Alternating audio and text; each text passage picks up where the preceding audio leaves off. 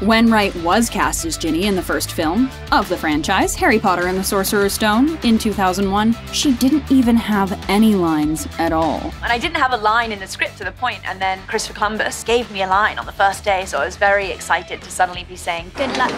As Harry sort of goes through into the platform. Now, despite getting a line on the spot, it's clear that Ginny was not one of those characters who got the most focus in the film adaptations. I think a lot of the time, you know, the audience didn't really ever get to see much of Ginny, and I think hearing from what people have said, they've always wanted a bit more of her. Of course, Ginny got more opportunities to showcase who she was as the franchise progressed, but Ginny's character development in the films still paled in comparison to that of the books. Not only that, it's ghastly. Plenty of fans who'd been familiar with the books were well aware of this, as was Wright herself. Today, Wright is 32 years old, and it's been over a decade since she filmed a movie as Ginny Weasley for the final time.